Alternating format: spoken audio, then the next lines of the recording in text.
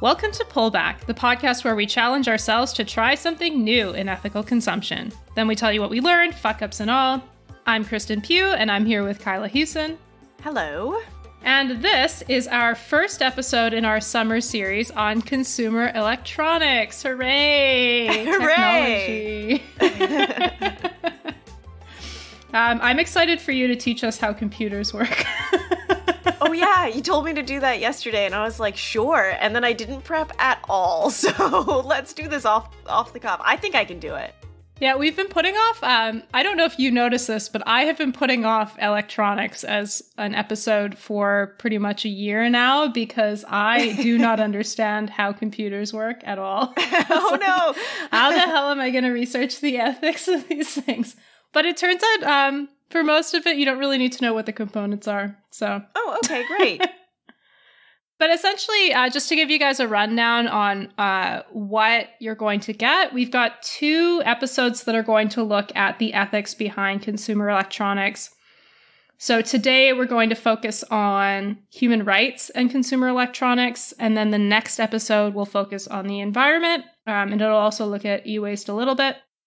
And then we thought it would also be helpful to do an episode on conflict minerals specifically because that's a huge topic in um, not only for the electronics industry but also for other industries like jewelry. Um, and so we'll we'll do that afterwards, uh, and then we'll do an interview episode on e-waste. Nice. I hope we'll actually do that. So now now we're held to it. Yeah, no, nobody nobody remember this. I feel like at the end of our series nobody's going to remember what we said at the beginning of it.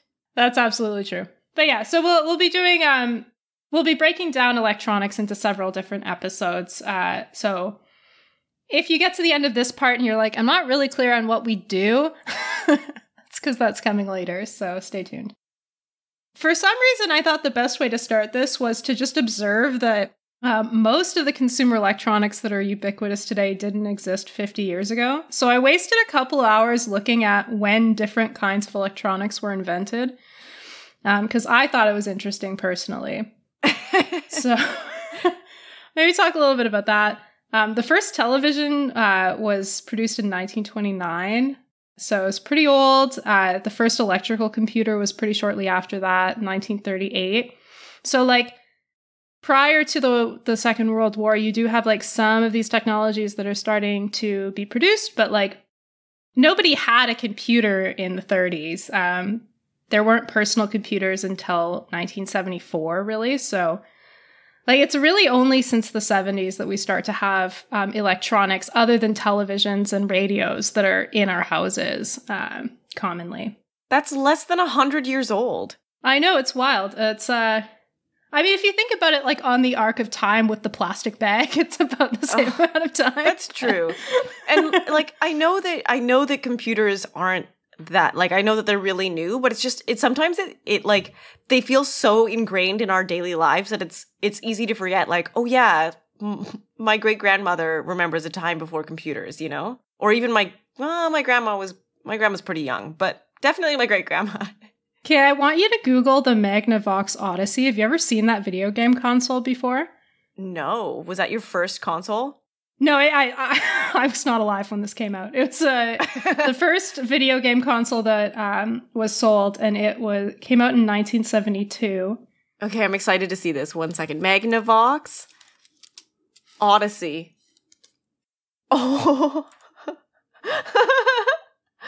Oh, what did it do? Uh, not a lot. So the weird thing about this console, I don't know if what you've found on Google shows you this. Um, it basically all it did was flash lights because it was so old.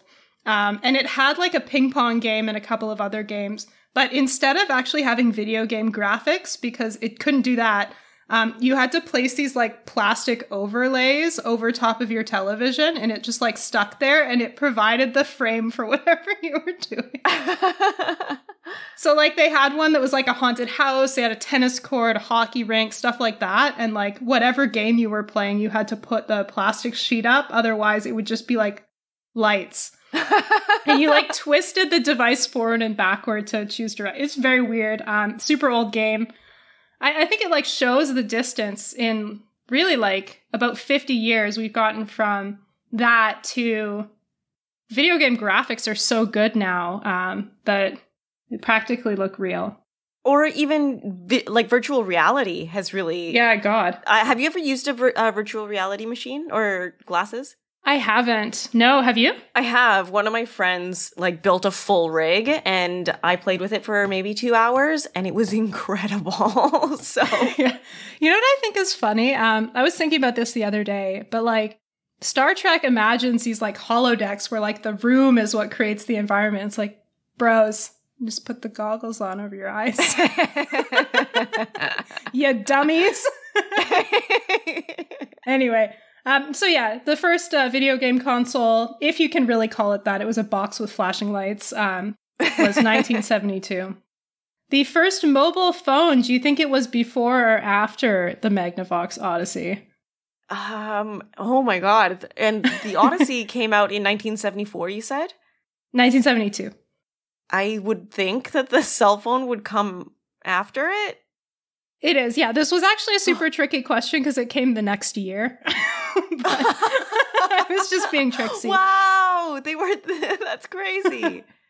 yeah, so Motorola released the first mobile phone in 1973, and the first digital camera came out two years later. So things are starting to speed up in the 70s. It's the the decade of technology. Uh, then the Sony Walkman rounds out the decade, becoming the first portable music player. And it's one of the earliest wearable technologies, if you want to think about it in that way. And then the first laptop comes out in the early 80s. Um, it was very heavy. so, yeah, then you have um, in 1992, there's the first smartphone. Um, but really, the first smartphone that everybody thinks about is the iPhone that comes out in 2001. Or, sorry, in 2007. Um, and the iPod comes out in 2001. I was like, wait a second. Mixed up the Apple products. The first iPod comes out in 2001 and the first iPhone comes out in 2007. So that made, okay, yeah.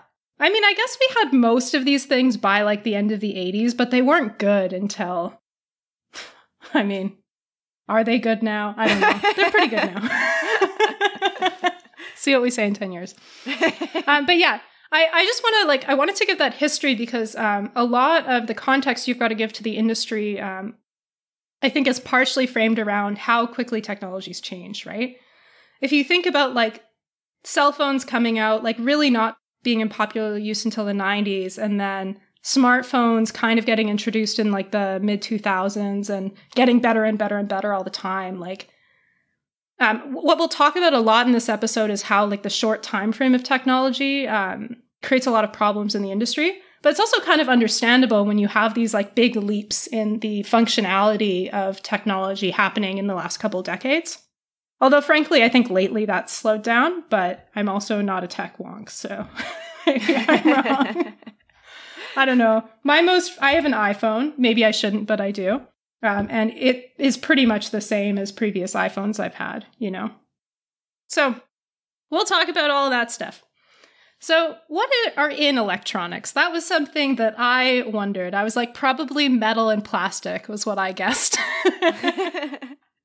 and uh, that is that is true. Um, so, electronics are made up of plastic, um, silicon, and then also like just a really wide array of chemical elements, um, including metals, and also rare earth elements. So we'll talk about those because they end up being important to the ethics. Silicon, though, is really important to electronics because they're the backbone of microchips. Oh my god, is that why it's called Silicon Valley?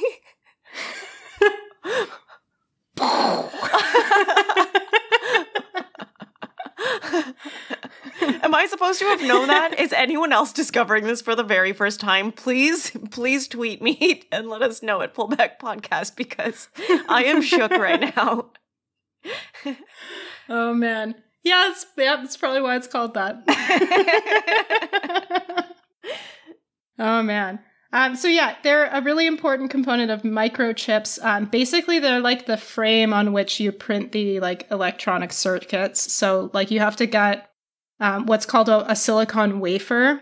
Um, I don't remember exactly how that's made, but silicon is basically sand. And so it's it's like a refined version of sand basically. So that is one of the most important materials when it comes to consumer electronics or electronics of any kind. And fun fact, there are more than 634 billion microchips manufactured annually. so Oh, I think I saw that statistic recently because there was a shortage on microchips like in the last 3 weeks and people were saying it was going to grind like the planet was going to grind to a halt and and I was like, "Whoa." but yeah, it's because they make so many microchips if you can't make them anymore. It's like actually that is a problem.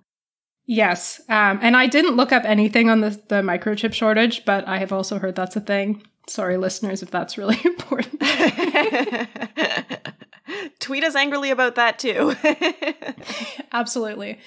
So, one of the challenges that I came across in researching for this episode is um, that there are so many fucking things in electronics. Uh, uh, so, for example, the average smartphone has about 70 chemical elements in it. So, I don't really know what you do with that. it's, it's pretty I'm not going to go through all 70. And plus, I the, that's just one smartphone. You know, every smartphone is probably made up of different things, and then laptops are made of different things, and TVs and video game consoles. You know, would get really overwhelming. Um, so what I thought I would do is kind of like talk about um, some of the major categories as they come up in the ethical issues. And one of the things that's really important to talk about is um, what's called rare earth elements. Um, had you ever heard of those before? Yes, but I probably because you told me about them because you actually did a whole bunch of research on this in the past, right? Yeah. Um, so rare earth elements, um, they're called that because at the time they thought they were really rare, but turns out they're actually not so rare. and they're they're really essential to modern technology, and there are different reasons because there are basically 17 rare earth elements. Um, and they're elements that are common in low concentrations in the Earth's crust. So at one time, we kind of thought they only were present in one place, but now we know they're present all over the place, just in low concentrations. And those 17 elements do a whole bunch of like different things. They have a different conductive properties, different magnetic properties, different phosphorescent properties. And so those different properties mean that you can use them in different ways in technology. So if you want like a screen that flashes with different colors, you use different rare earth elements, you know. Um, something something conductivity. I don't know how electronics work, but you know, you need you need the different features of different earth, rare earth elements to be able to um, produce different things in your phone. So, for example, um, I don't remember which one of them this is, but one of the rare earth elements allows your phone to vibrate. You know. Wow. Yeah. And it's just like the properties of the rare earth elements that are different that help them to do different things. But well, I just learned that alchemy is real. and it really does do magic. I mean, I'm sure I'm sure people who are like engineers would be like very upset with me about the way I've described this because I'm sure there's a perfectly reasonable way that they they make them vibrate. But the point being that you need um you need a lot of elements um, in electronics because you need them to like they're really complicated. You need them to be able to do a bunch of different things. Um, so I tried to. I always, when I'm researching this episodes, I always try to to look at what the supply chain is. Um, even though that's often really boring, I think it's really important to understanding what the you know ethical problems that might be run into are. And th- this is where like I ran into my first problem with electronics. Um, you know, we thought that the clothing series was complicated, but electronics are just, they themselves are so complex that the supply chains are just orders of magnitude more complicated than any of the other products we've discussed on the podcast so far.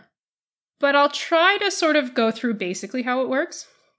So, the first step, and something we'll talk a lot about in um, the first two parts of the series, are um, each of the like raw materials themselves um, have to be mined and processed. So think about like those 70 different materials in going into your smartphone.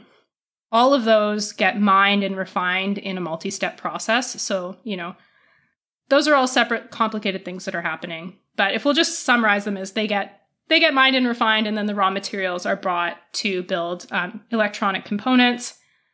Can you maybe at this point it might be helpful for you to describe um, like what generally is in a computer? What are the sort of main things so people can get a sense? Yes, I'd be happy to do that. So, when you're building a computer, it's generally the same principles for whether you're building a laptop or a desktop. You need basically the same things, they just come in different sizes. So, the first thing you need is a case, the thing that everything goes inside and holds it all together. Then you're going to need a motherboard and a processor. They're the brain of your computer. Well, the processor is the brain of your computer, and the motherboard is like the spine and the the nervous system. Everything connects to it, and uh, they all react to each other because of the way that they're connected to the motherboard. I am going to have a great time describing the rest of this. I, I feel like I should give some credentials here. I I built and repaired and sold computers for three years. I started as a salesperson, then I moved on to be a tech for a while, and then went back to sales. So I actually do know what I'm talking about. I'm just like not all there tonight.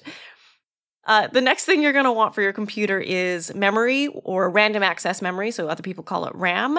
And that I always describe to people is kind of like your table. Uh, the more RAM you have, the bigger your table is, the more things you can do at once. I'm sure that engineers are going to hate that description as well, but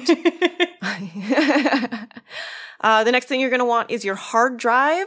That's where you store all of your pictures and music and programs and your operating system.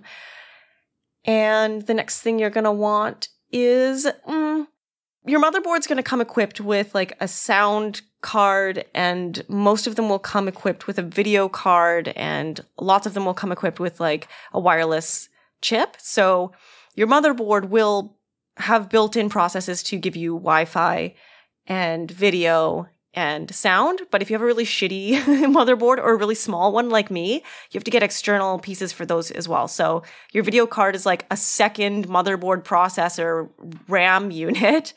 So it's like a computer inside a computer so that you can play all of those great VR video games. And then the sound card and the wireless internet card basically is what people want. And then your power supply to make it all run. And different power supplies can run different setups. Pretty easy stuff. And then you can like add things for fun, you know, like, oh, because you, you, can't just have a computer. You also need a keyboard and a mouse and speakers and ah. monitors to see stuff. Yeah. I mean, if you're getting a laptop, that's built into the case, but still, like, woof. Yeah. So, I mean, that's a lot. so you take all of the elements that are um, like they're originally raw materials, they get mined, they get refined, and then they go to make that big jumble of components, many of which are like made by it's not necessarily all separate companies, but usually there are like hardware component manufacturers that will make um, certain elements. And it gets confusing because some of those hardware manufacturers are also like the like the branded uh, computer producers that like also sell you the stuff. And then there's also operating system and software developers that are also sometimes in hardware as well. So the companies are all jumbled up, but the process is basically you get raw materials, you make raw materials not suck, you bring raw materials to make components, you put components together through like an assembly factory, and then you like send it to stores and sell it. Or you send it to telecoms companies who sell it that way too. um, so there's also like um, what you might notice in that system is there's a lot of subcontracting that happens throughout that process. So if you're like a big company like like Apple, for example, um, they use over 750 suppliers to build their products. Like, that's a massive number of companies you're contracting to. So, like, in our clothing episode, we talk about how subcontracting really makes transparency and accountability difficult because you're not quite sure, like, who's cutting your cloth and whatever. You magnify that problem by like a hundred if you're dealing with electronics because there are so many components. And that's where a lot of the problems come in that and the fact that we don't have electronic devices for a very long time. So, human rights abuses largely occur in the mining and manufacturing stages of the supply chain. It's not so much like the people that are at the, the end of the supply chain that are dealing with human rights issues, although I'm sure pay at some of these um, stores is not great. But the big human rights abuses occur mostly sort of at the beginning stages the mining, the manufacturing, the assembly. Um, and so that's how I'm going to organize the human rights section. We'll tar- start by talking about mining, then we'll talk about manufacturing. Just a note that I'm not going to talk about every raw material in this episode, so um, we'll focus on just a few that have been the subject of activism and uh, talk about general principles. And if you want to research like cobalt mines or copper mines afterwards, like go off, you know. a lot of the mining issues, like there'll be egregious human rights abuses at like this one Zambian copper mine or like something somewhere else. Um, so what I've tried to do is talk about broadly what happens in mining. I did look up where key materials were mined. I'm not going to go through a list of those, but um, China is a big producer of most of the really important uh, raw materials that go into electronics. So they're a country that definitely plays a big role. Australia is also a big mining company that's one of the lead producers on a number of them. The United States comes up a few times, Peru, Russia, India, and Canada. So uh, those are some of the major mining uh, countries. There are many more, though. So um, depending on what is being mined, um, can really happen all over the world. So let's uh, start by talking about workers' rights in the mining industry. I think we'll maybe have to do an entire episode just looking at mining in the future. Um, I'm not going to give a super in depth explanation, but it might not surprise listeners to find that mine workers often experience unsafe working conditions, low wages, and uh, abuses on the job like excessive working hours and union busting. Working conditions in mines, like historically, um, were tied to, in some cases, just outright, you know, slavery. And then in other cases, um, really abusive practices and uh, as we've seen in like other industries where that's the case, um, industries like tea and chocolate, those practices may, are maybe not the same today, but like some of the same problems kind of carry forward. So um, I'll just give you an example. Uh, one third of the world's tin comes from informal mines in Indonesia. And uh, in Bangka, Indonesia, um, I'm probably pronouncing that incorrectly, sorry. A worker dies in a landslide almost once per week because um, the practices are so bad there. Whoa, that is a lot of landslides. Yeah. I mean, it happens because um, if you're not managing the mines properly, they can be pretty unstable. So, so yeah, mines aren't particularly safe places to work. Um, in addition to things like um, dying in a landslide, lack of protective equipment and safety protocols can expose mining workers as well as nearby communities to toxic chemicals. It's a really big problem. Um, and that can lead to a range of health impacts.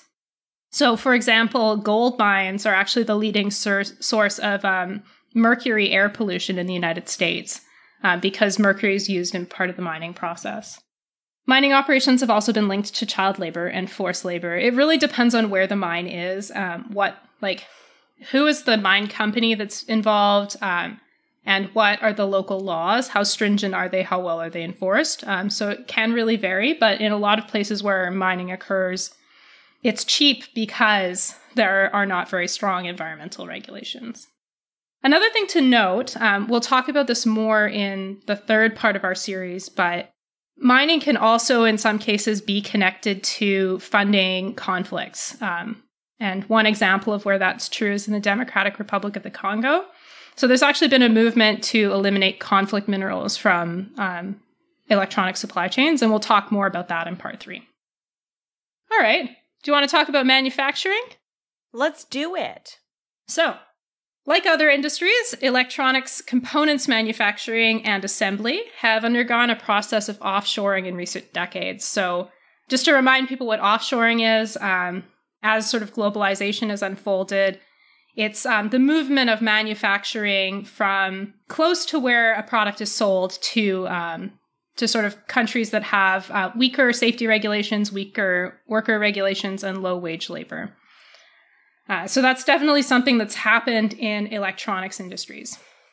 For example, semiconductor man- manufacturing actually moved offshore from the United States starting in the 1970s. And that was after there were reports that surfaced of contaminated drinking water that caused um, birth defects and cancer clusters among factory workers um, at different sites around the United States. So people started to agitate and start lawsuits about that because the United States actually had environmental protection laws um, and health and safety laws, and uh, then semiconductor manufacturing moved. That's like a pretty common story in electronics. Is um, the problem with toxic chemicals and how it's harming human health and the environment. Um, it's a big problem in mining. It's also a big problem in electronics manufacturing. So today, a lot of the electronics manufacturing actually happens in China, but some of that production is being moved towards other um, Asian countries like Malaysia, Indonesia, the Philippines, Vietnam, and India.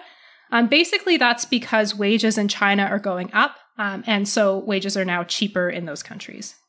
So, offshoring is sort of one big trend, and it's pushed manufacturing out to Asian countries.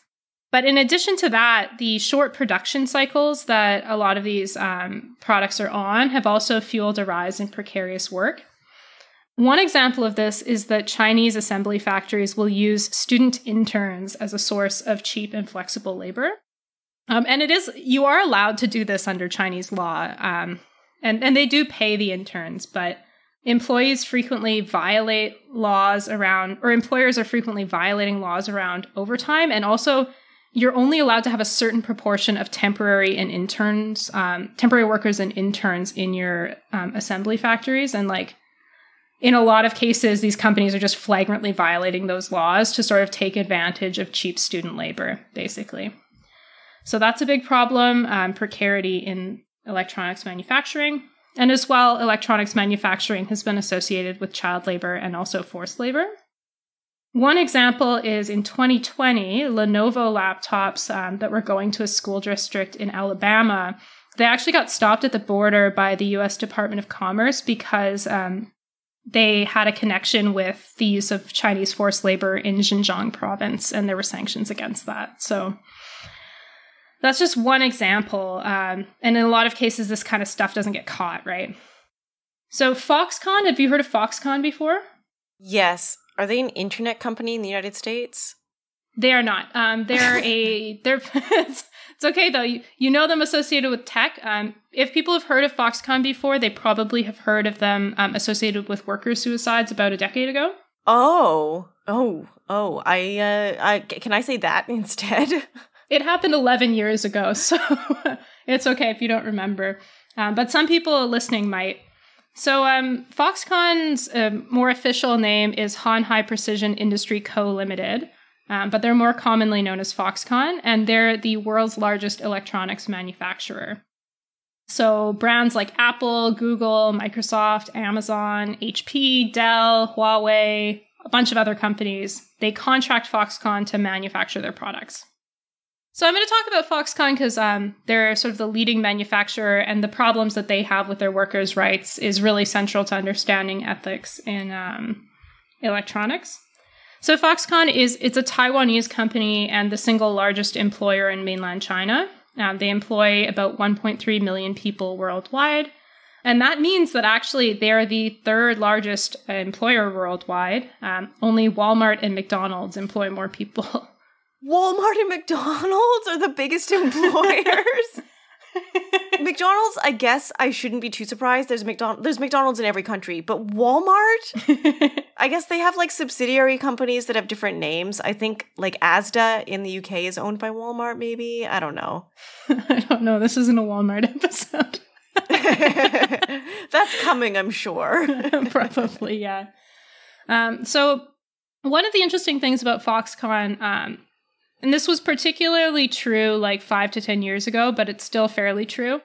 A large portion of Foxconn's employees are at like a single mega site in um, the Chinese city of Shenzhen. Uh, and it's uh, known as either Foxconn City or the Longhua plant. And it's basically like this giant factory complex. Um, and at a certain point, um, there were an estimated 450,000 employees working in this complex, just to give you a sense of how big it is. Um, I think now they're not quite sure because it's very opaque, but um, now it's believed that there's less because um, Foxconn now has more sites um, around China. So they're not necessarily all clustered there, but there's a large number of employees um, in this factory uh, site. Um, and it would take nearly an hour to walk across the entire facility. So it's like a it's like a proper city, you know. What? Yeah, so think of like um like a city that with a population somewhere around like Hamilton, Ontario, like and it's just an electronics company. Do the do the workers live there? Yeah. Um yeah, yeah. Uh, I'll go into more detail on this. So the Longhua plant, it's very secretive. Um, so it's it's really hard to find out um, what's inside. But um, a journalist from the Guardian got in, um, and I'll just read a quote from that article. Security guards man each of the entry points. Employees can't get in without swiping an ID card. Drivers entering with delivery trucks are subject to fingerprint scans. A Reuters journalist was once dragged out of a car and beaten for taking photos from outside the factory walls. So it's very secretive. they really don't want you getting inside.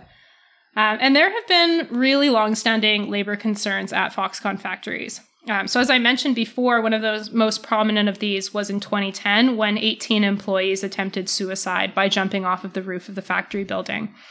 And uh, it's not. This isn't like the only time there have been issues at Foxconn. There have been a number of like protests that have happened. Um, workers have smuggled out like notes saying "Help me" from the factory into like products. Like there have been sort of several incidents, um, but this suicide cluster, you know, 18 people attempting suicide within a year, drew pretty substantial international attention. Not all of them died. Uh, I think 11 did, but don't quote me on that number.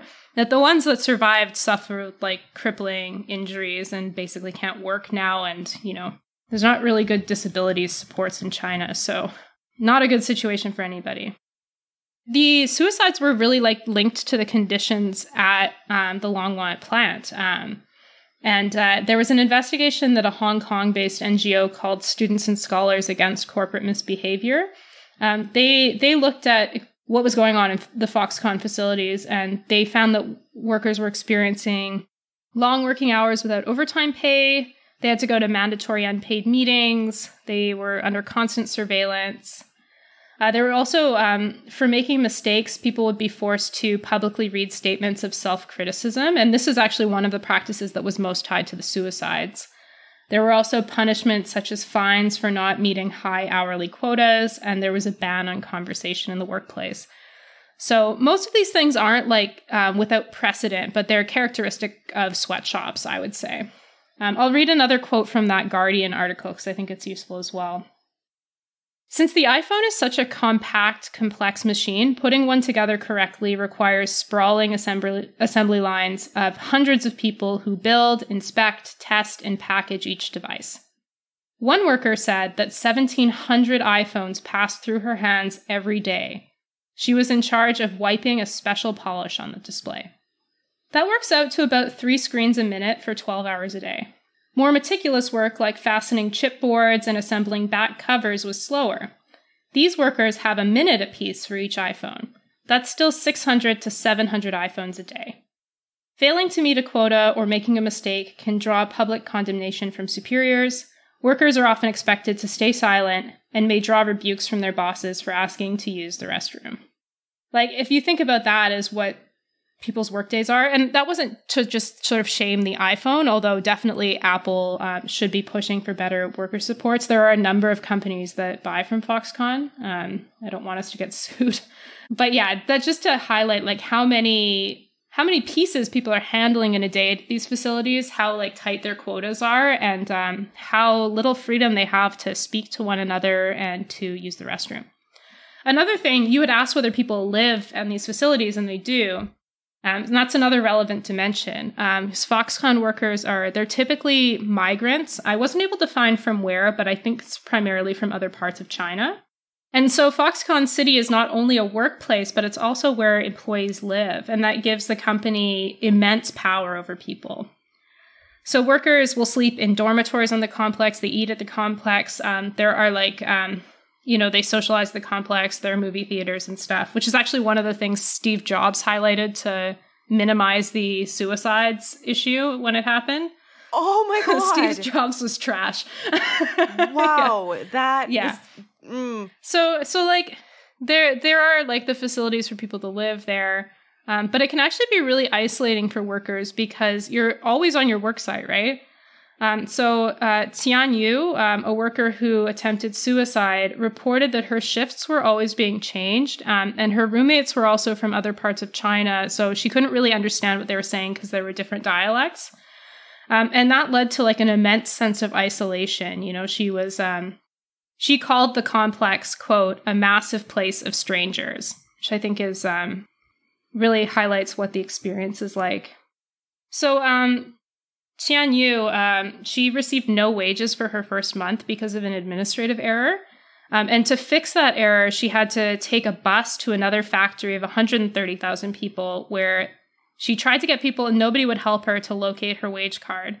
Um, and shortly after that, her secondhand cell phone broke, and because she hadn't been paid, she couldn't afford to replace it. So because she had no money, so she was like, she didn't know the people she was living with. Her family is like far away, and she can't contact them with her phone. So she attempted suicide shortly after that, um, and she had only worked at the facility for 37 days, and she's like paralyzed now. so that's the rest of her life. Oh, I didn't think we would have an episode that was darker than clothing, yet here we are.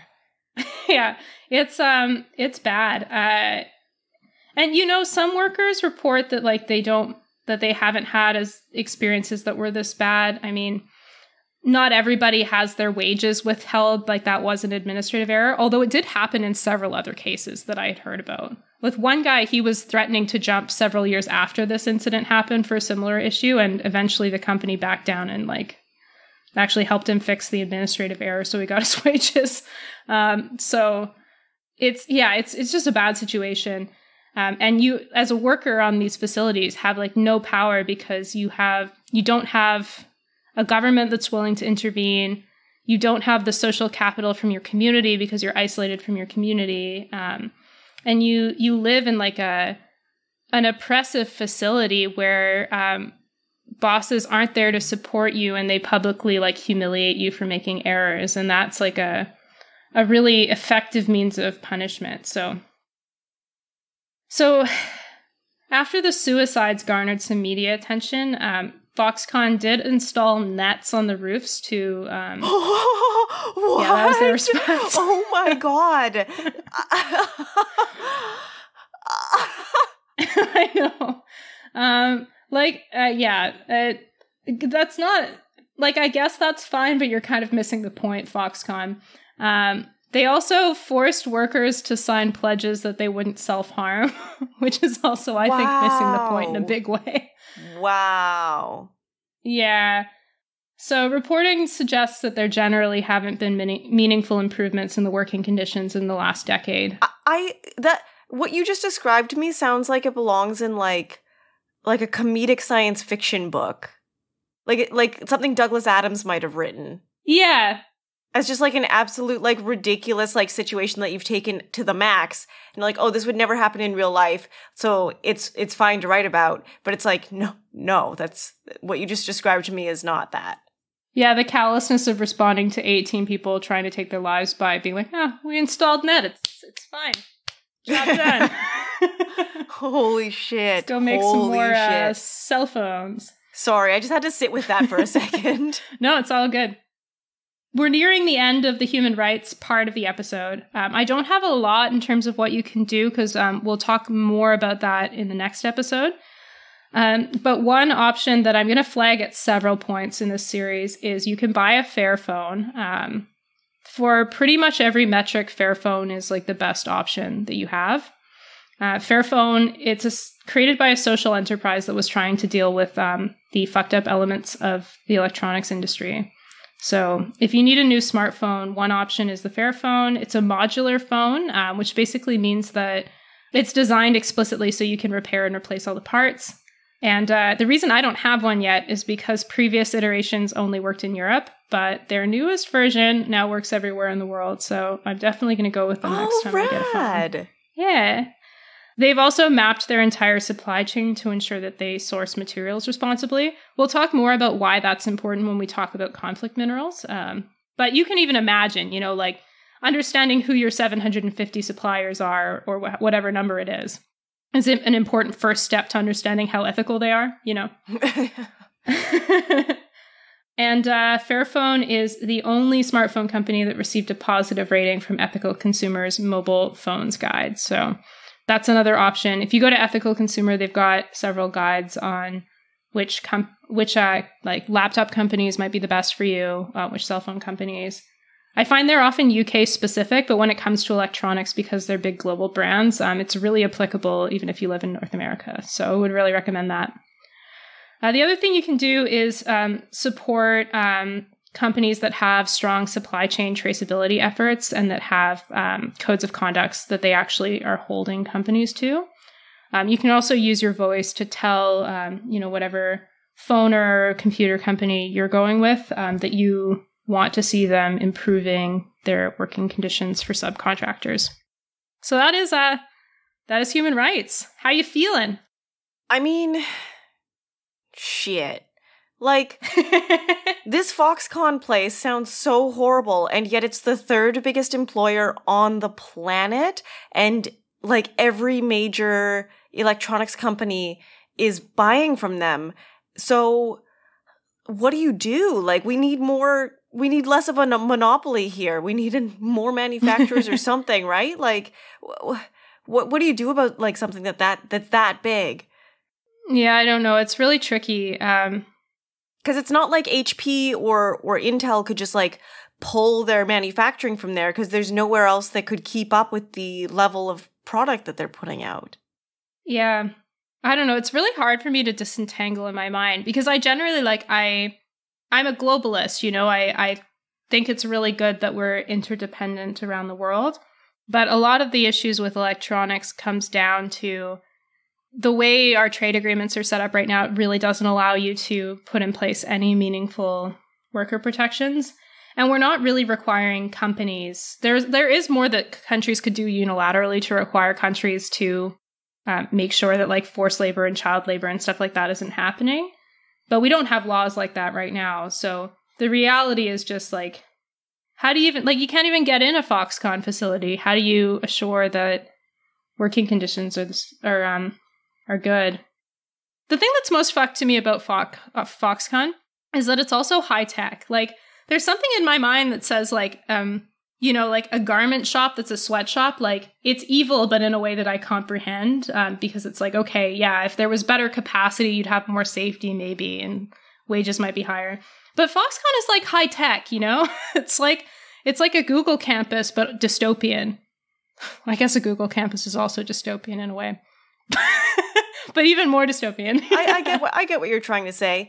I suppose, like, I mean, if you were imagining a better world where we could still have our electronics, because I don't know about you, but I am fully addicted to electronics, and yeah, I could learn to live without them, but I, in my perfect world, I'm imagining uh, they're still there, you know. So, I, I guess like these companies that are hoarding wealth at the top with their billionaire CEOs, if they were more equitable in how they distributed their funds, they could spend that money on having their own manufacturing like places, you know? So it's like instead of everyone sending to this one evil place so that they have no choice but to continue sending to them because nobody can keep up except for this evil place, you take care of your own stuff, you know, and you hire your own workers.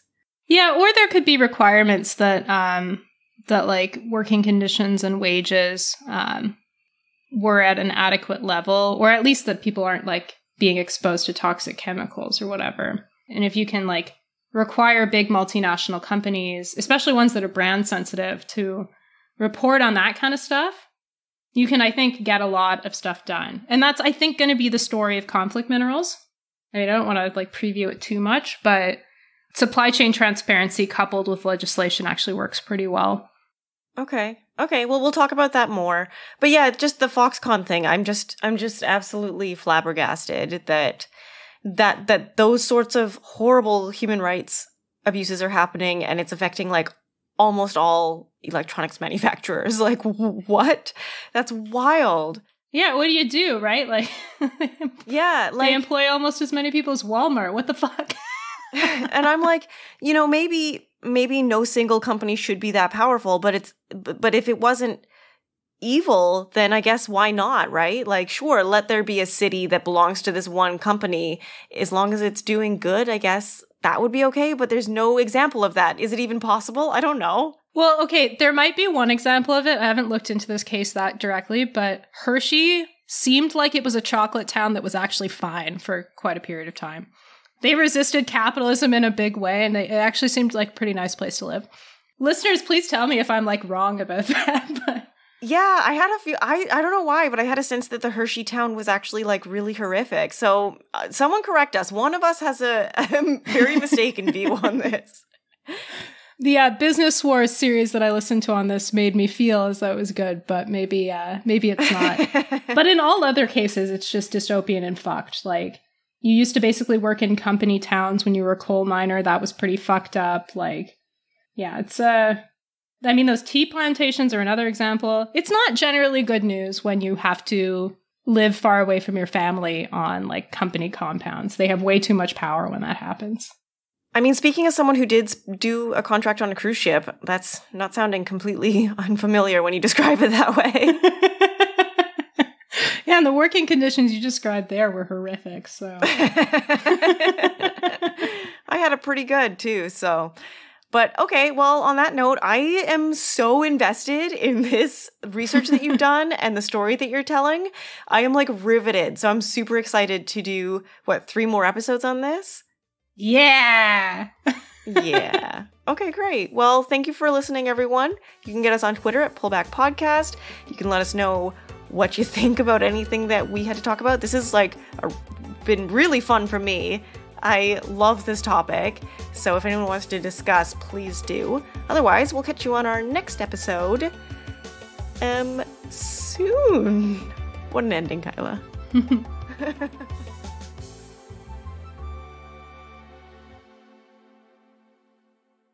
All right, ready to go? Okay. I'm not sure I am, but I'm gonna get more water because I'm uh high as Cotton shit. mouth? My mouth's really dry. so